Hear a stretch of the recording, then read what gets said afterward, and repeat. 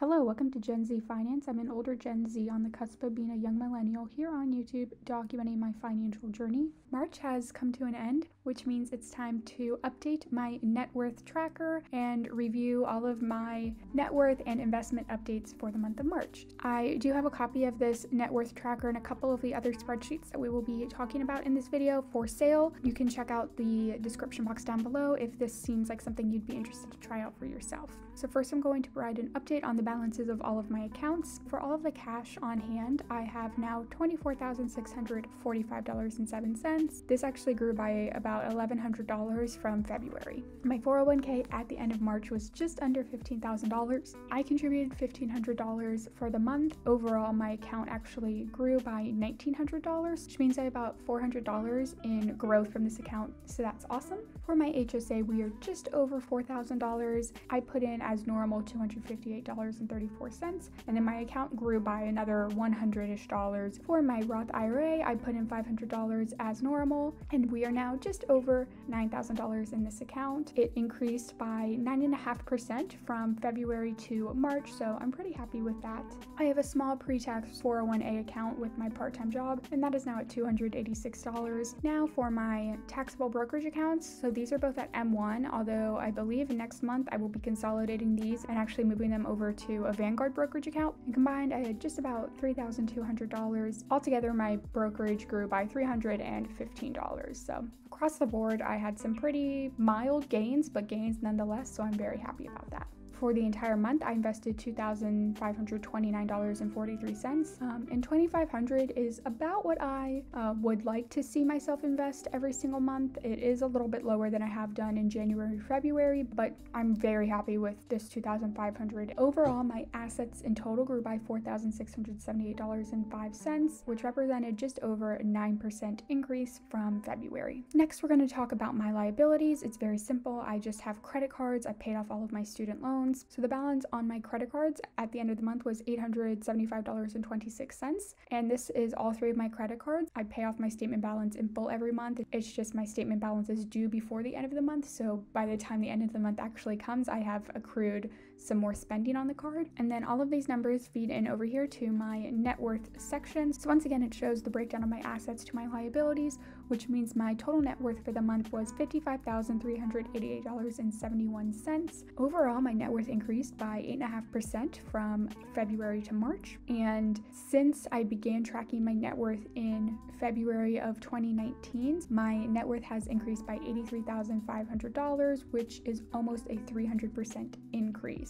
And then year to date, so looking at just uh, my net worth at the beginning of 2021 to the end of Q1, my net worth has increased by $12,517, which is almost a 30% change. So this spreadsheet and these numbers then feed over to my net worth dashboard. This is my net worth breakdown for the month of February. So I'm going to come down to this drop down and select March of 2021. And this updates all of these charts. Here you can see that my cash on hand makes up about 43.8% of all of my assets, and the other 56% is everything that I have invested. I do really like to keep an eye on how much of my assets are kept in cash because ideally I would like to see my cash shrink as a percentage. I definitely want the bulk of my assets to be invested instead of cash because that just means that that money is going to be growing faster and working harder for me.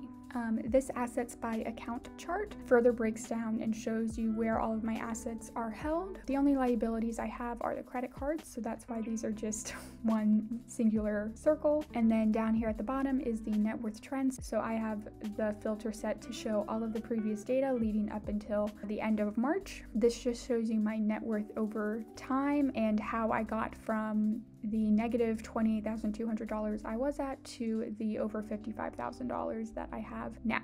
So to me, it's crazy to see over on the left just how small my assets were in the beginning and how large these liabilities were, and then now to see them kind of switch. That's just really exciting to see, and I like this visual.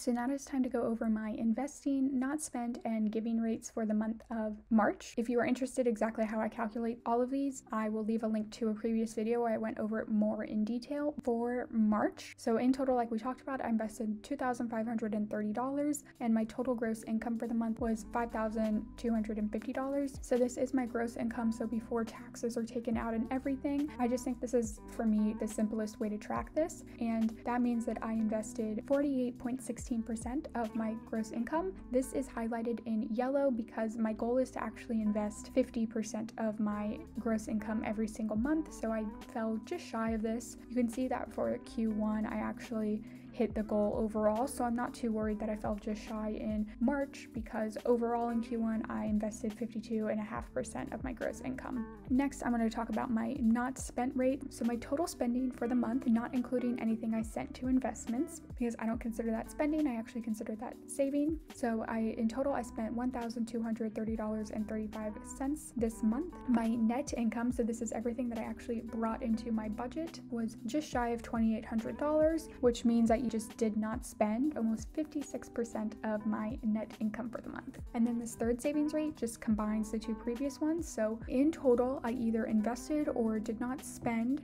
$3,361.12. Again, my gross income was the $5,252, which means I either invested or did not spend almost 64% of my income. This is highlighted in yellow because it didn't quite hit my goal. I think my goal for this is to invest or not spend 70% of my income every single month. And you can see for Q1, I came just shy uh, under hitting this goal. Again, I'm not too worried about it because I still think that's pretty good. So these are my three, I guess you would call them saving rates. This is how I choose to think about them and track them. And then finally, the fourth rate that I do track is my giving rate. So I track both how much I'm giving to charities via donations, which in March was $0. And then I also track how much I give to family or friends or gifts, which in March was actually $600. If you look at just what I gave to charity, that was obviously 0%. However, if you take into account my entire giving for the month, including the gifts, I actually gave 21.5% of my net income. This is using the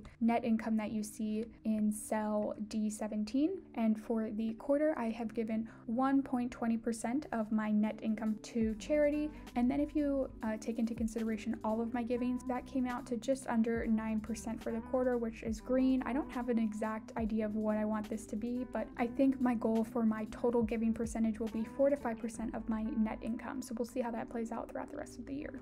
Quickly, I wanted to go over just a couple of more things. Like we mentioned, for the month of March, I spent about $1,200, and my limit for every single month, based on my total yearly goal of spending less than $15,000 for 2021, that monthly limit would then be $1,250. So you can see I came $19.65 underneath this limit this month. So far, so accounting for all of my spending through Q1, I've come $826.91 under my limit so far, which means that I still have about $12,000 left to spend for the rest of the year. So I am on track with this goal. And then the last thing that we're going to look at, this is just my safe withdrawal rate tracker. So for the month of March, my invested assets is $31,600, which would pay me $1,200, $1,100, or $950 a year at 4%, 3.5, and 3% respectively. So the cool thing about this month is that now if I wanted to withdraw 3.5% of my portfolio every year, this would now provide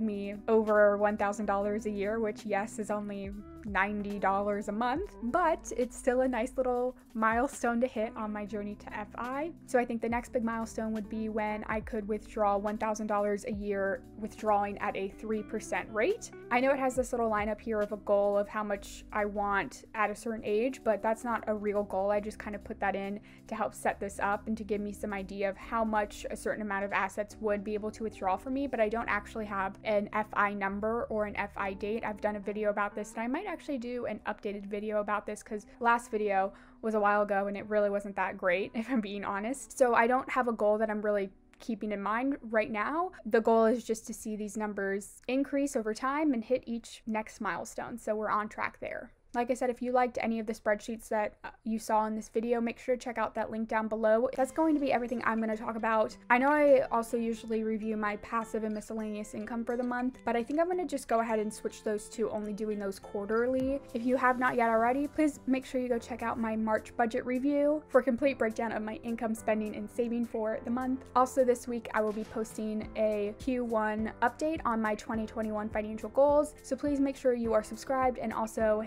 give this video a thumbs up and leave me a comment down below. As always, I hope y'all are staying safe and healthy and that you have a good day.